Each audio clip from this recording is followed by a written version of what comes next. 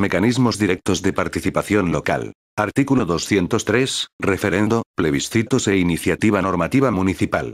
La Ley Orgánica de la Administración Local establecerá los ámbitos, requisitos y condiciones para el ejercicio del referendo, plebiscito y la iniciativa normativa municipales con el fin de fortalecer el desarrollo de la democracia y la gestión local. Muchas gracias por su visita, ha sido un honor y un privilegio para nosotros, por favor, tenga la gentileza de suscribirse a nuestro canal.